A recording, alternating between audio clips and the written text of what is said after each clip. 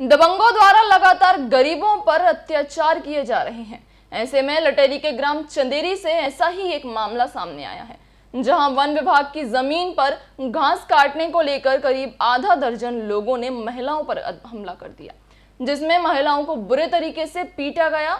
मारपीट में महिलाओं के शरीर पर काफ़ी चोट के निशान भी आए हैं।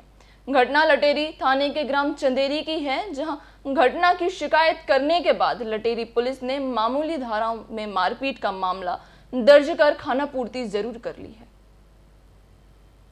नाम है भाई? कहाँ की हो? चंदेरी की। काय पे से मारपीट हो गई? किसने मारा आपको? पाँच लोगों ने मारा। कौन कौन है? नाम जानती हो? नाम जानते हैं। कौन कौन है तका सिंह शिवराज गुड्डिया और बीरल काय पे से मारा हम अतिक्रमण थी हमारी। कब्जा किसका है जगह हमारा। वो क्या कह रहे हैं?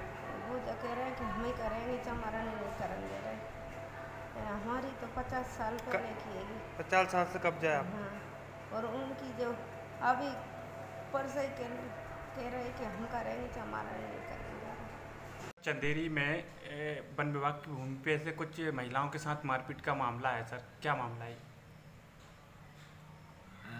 सक्रियाबाई पति खुशीलाल अहिरवार पैंसठ साल निवासी चंदेरी। ये जो है उक्त महिला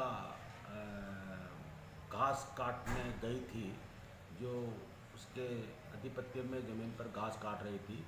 तो अनावेदक जो है तखत सिंह भील शिवदास भील वीरेंद्र भील तथा गुडिया भील इन चारों ने मिलकर मारपीट की है।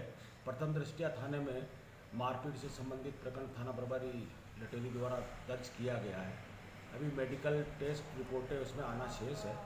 मेडिकल जाँच रिपोर्ट आने के पश्चात उसमें अग्रिम वैधानिक कार्रवाई की जाएगी तथा आरोपी गणों के विरुद्ध भी सख्त कार्रवाई